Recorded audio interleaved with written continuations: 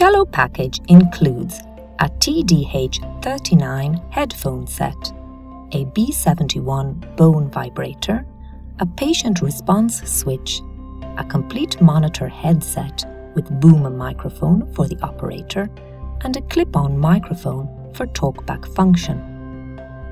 A set of four additional magnetic covers, the medical grade power supply, a USB cable, the user manual in English, and a multilingual quick start guide.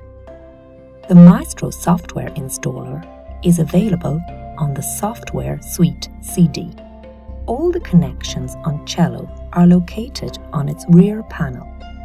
Positioned at the very left, there is the plug for the power supply and the power switch.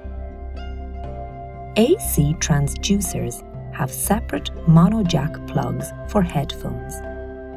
Insert earphones and for the high frequency headset. Cello is compatible with TDH39 or DD45 headphones with insert earphones ER3C and with Sennheiser HDA300. The bone vibrator is the B71 and it comes with its own headband. Here we see the connection of the patient response switch.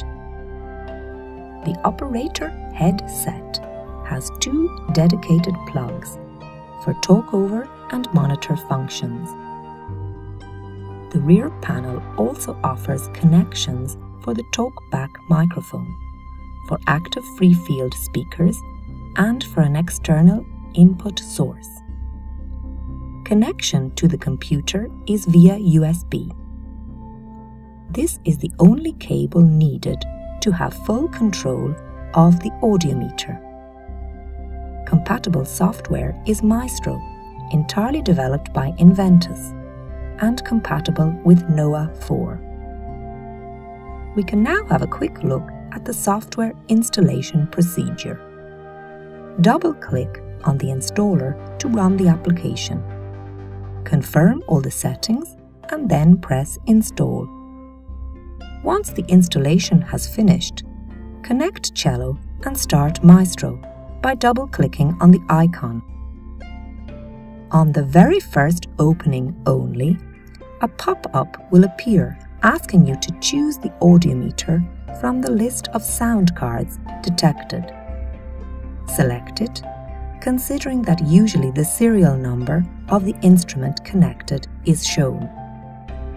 Most of the settings for cello are available through the software. Click on the Audiology menu and then Control Mode settings to review them. To load your speech material onto the computer, click again on the Audiology menu, Audio Management Settings and then Speech Material. Here you can open the folder where it is possible to save the speech material.